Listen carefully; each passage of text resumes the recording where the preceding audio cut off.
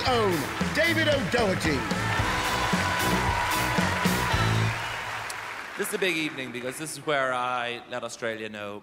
I, I've never spoken about this on stage, but I suffer from a physical affliction, and I know a lot of other people do too. So, together, let's just try and break the stigma.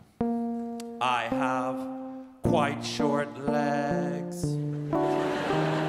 They're shorter than you'd think.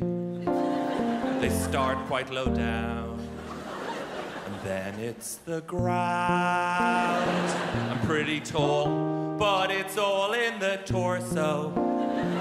It's so hard to get jeans. You don't have to roll up like the trousers of a child who'll grow into them, but I won't. This is it.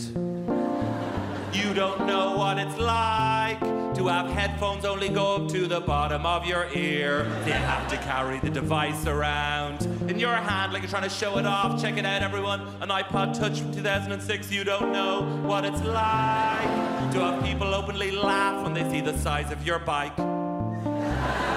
Ask you if you've mugged a child. No, if anything, I've been mugged by evolution. I have quite short legs. If you drew me naked, people would say, You've done that wrong. They're not supposed to be like that. If anyone had legs that short, they'd be a panda or an Ewok. But I'm not, I'm a man. Maybe one day I'll meet the person with the legs that I should have got. And a tiny, tiny torso at the top, and for a moment we'll embrace face to face, not waist to waist. And we'll be two perfectly proportioned people jumbled up.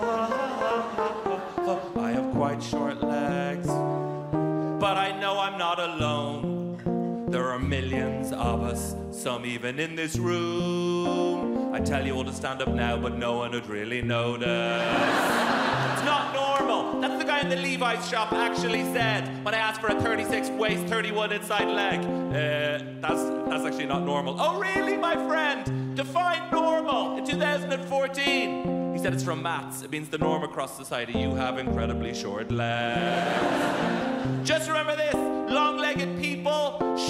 short-legged people. We're just people, and we all move through this life together. Just some of us, our legs are moving a lot faster than others. Like a dog beside a horse, or a dog beside a much, much smaller dog. I was the only one in my class in school who couldn't do the hurdles. My balls would just clang off the wooden bit. Oh, you laugh at that. I'd like to see your faces on long haul aircraft travel. I'm dying here, and I'm like, ha ha ha ha. With my tiny, tiny legs inside the sort of netting thing at the back of the seat in front, like a kind of a hammock.